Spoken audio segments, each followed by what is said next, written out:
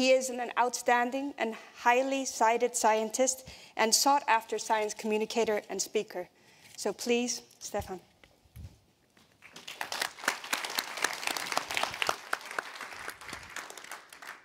Yes, hello everyone. Fantastic to be here with such a great audience. It's a great honor. What you see here, this is what is happening in the last decades in the oceans around, surrounding us. And the one striking thing you immediately see is this so-called cold blob, an area which has been cooling uh, over the past decades.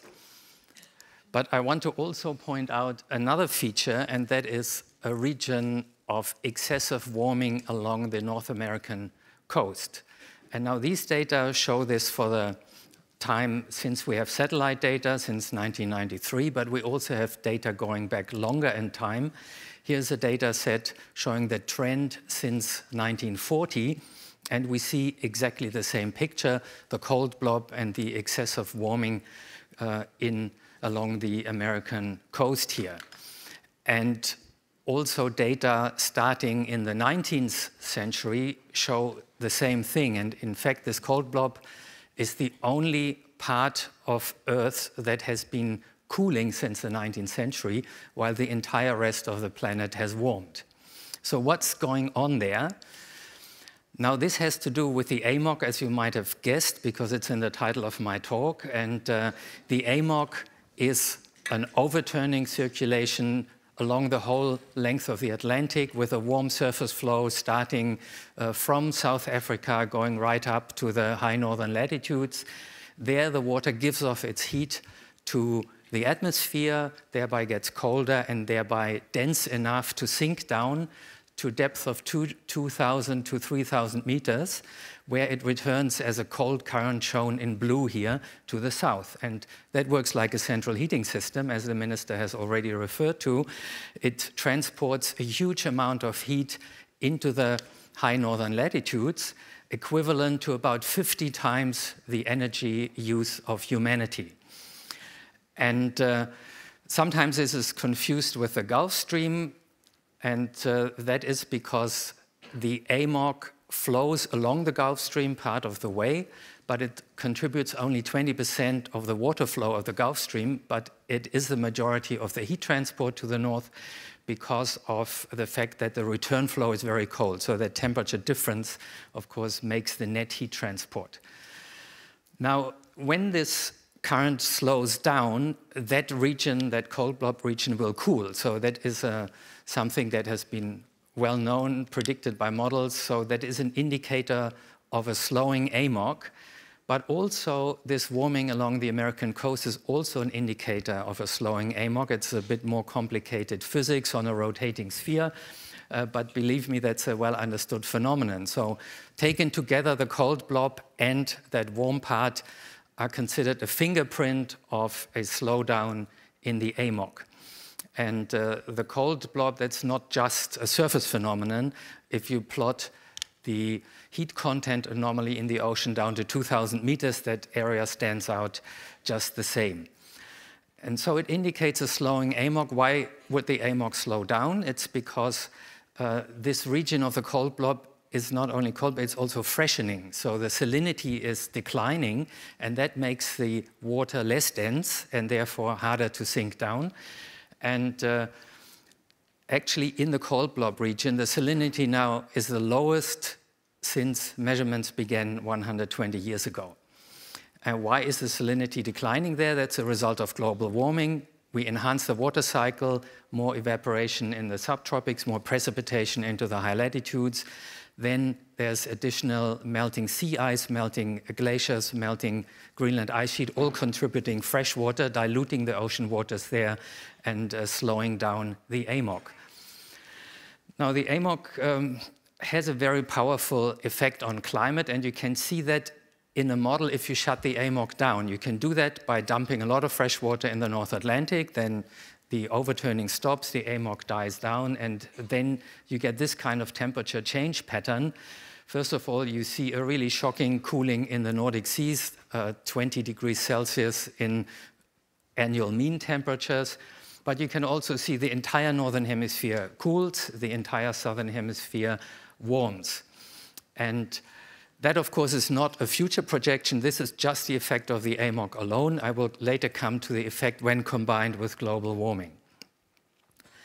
One thing we know from paleoclimate is that there have been uh, some of the most uh, abrupt and uh, striking temperature changes, climate changes in the paleoclimate record have been caused by instabilities in the AMOC. Uh, this shows in blue Greenland ice core data for 60,000 to 10,000 before present, and in the green sediment data. And I I have studied these abrupt glacial climate events since the 1990s, so I could uh, give you an hour-long talk on those. But here, I don't have time for that. And uh, let me just say that the concern about instability of the AMOC actually originated from paleoclimatologists. I'm thinking, for example, of the famous uh, American oceanographer Wally Broecker, uh, who warned that climate change would not necessarily proceed smoothly, but uh, there could be uh, disruptions of ocean circulation and so on. Now, if we look into the future, this is what the high warming IPCC models predict for 2100. It's uh, straight from the IPCC report, and you see again this cold blob here. And in the models, of course, it is due to the global warming, as I have explained, and you can see here the cold blob actually expands in these scenarios, uh, cooling down uh, Ireland, Scotland, for example. So models, uh, at least part of them, predict this kind of thing happening, but generally the models underestimate the cold blob until now. So this is again also straight from the summary for policymakers from IPCC, and on the left you see the observed cold blob and on the right-hand side, what the models predict until now if you drive them with historic emissions data. And you don't see the cold blob, you see just a somewhat reduced warming. And so this is one indication that the climate models are underestimating this problem. Uh, there, there's also a whole subsection of the scientific uh, literature on AMOC arguing that the models are, have an AMOC that is inherently too stable and there's additional factors like the climate models still haven't got interactive Greenland ice sheets, so they don't include the growing meltwater influx from Greenland, for example. We can also turn to paleoclimate data. Uh, these are seven different studies with proxy data from sediments, from corals, and other things. So very different data sources, different uh, scientific teams, and of course, uh, different time resolutions but all these reconstructions of AMOC for the last uh, thousand or more years agree on one thing, that it's been relatively stable until um, in the last hundred years or so, it's in steep decline. Now that in itself, of course, that's causing this cold blob and that already is affecting our weather and is in itself a problem, but the even bigger problem comes through the fact that the AMOC has a tipping point. And uh, what is this tipping point? It's demonstrated here. The green curves show the stable equilibrium strength of the AMOC as it depends on how much fresh water is flowing into the northern Atlantic. So when you start with the present climate there on the top branch where you have the AMOC flowing as we know it, and you add fresh water, you're moving along on the right, and you see this uh, decline of the AMOC gets uh, steeper and steeper, and then the curve bends back on itself. And that is a tipping point. It's a, mathematically, it's a bifurcation point, and it results from an amplifying feedback, which is well understood. This is understood since uh, Henry Stommel, another very famous American oceanographer, described this feedback system in 1961. And the feedback is uh, such that if you add some fresh water, the AMOC gets weaker, but that means the AMOC itself transports less salty water from the subtropics, where it's salty because of evaporation there, to those high latitudes. That makes it even fresher, the water, weakening the AMOC more. So that's an amplifying feedback system.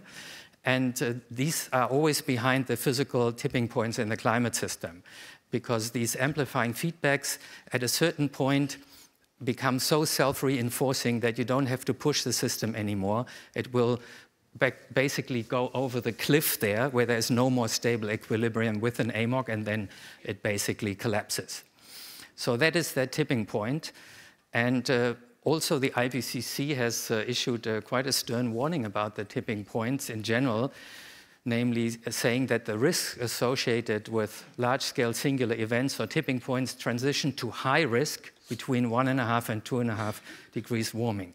Below 1.5, it's moderate risk, not, not low. So that is a real problem, and it's one of the reasons why we should really try to stay as close to 1.5 degrees uh, as possible. Another, a new study that is still a preprint that uh, hasn't uh, been peer-reviewed yet shows that what happens with those climate models that have continued beyond 2100. That's not been shown in the IPCC report. There's around about 30 of these models, and nine have, since the IPCC, continued their runs uh, further into the future. And for high emissions, that is the red curves, all nine of these uh, collapse the AMOC and you can see that here. It, it, happened already by 2100, they're well on the way to collapse, but the, the last bits happen after 2100. And even some of the moderate emissions or low emission scenarios, some of those models uh, also get a collapse in AMOC, despite the fact that probably these models have a too stable AMOC. And uh, what is of particular concern is that the tipping point for a full collapse is most likely already passed much earlier in, the, in this century, uh, probably even in the first half of this century. The consequences, once the AMOC is collapsed in a globally warmed world, uh, look something like this. In the top panel, you see then the annual mean surface temperature changes and, you know, the planet warms, the northern Atlantic region cools. The exact location of uh, that cold uh, patch depends, of course, on uh, how much warming there is compared to the AMOC collapse, how far along are we already with warming, how early does the AMOC collapse, and so on. Um, but the bottom panel shows changes in rainfall patterns, and we also know those from paleoclimate. There have been drastic uh, changes every time the AMOC collapsed during the last ice age along the tropics because the tropical rainfall belts they shift south when the northern hemisphere cools and the southern hemisphere warms. But of course, here in this part of the world, uh, we are mostly concerned about this. And I sometimes get asked uh, by journalists, well, isn't that great, say, in northern Germany, the two effects just compensate? But that's an illusion, of course, because that's only in annual mean. But we, we don't have ever annual mean conditions out there. We have weather, and it varies depending on whether we have cold air from the north or warm air from the south. And the contrast will be much greater. And these contrasts drive storms, they drive extreme events. So if you have southern Europe warming and northern Europe cooling, that's really bad news for extreme events. And there are also other consequences uh, for CO2 uptake by the ocean, which normally with the AMOC gets uh, drawn down into the deep sea by the deep water formation. The oxygen supply for the deep sea comes with this deep water formation. There are big sea level changes in response to an AMOC collapse, so there are many very serious problems. And uh, to finish off, I want to point to that uh, big report on global tipping points published last year by more than 200 researchers from over 90 organizations in 26 countries, which concluded that harmful tipping points in the natural world pose some of the gravest threats faced by humanity. Their triggering will severely damage our planet's life support systems and threaten the stability of our society. So my conclusions uh, the AMOC is weakening. I think very strong evidence for that. The AMOC has a tipping point, well understood since the 1960s and confirmed again and again with more and more complex models.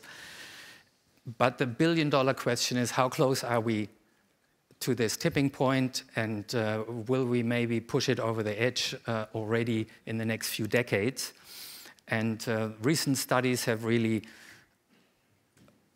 given us, given certainly me, the impression that this risk is much greater than we thought just five years ago.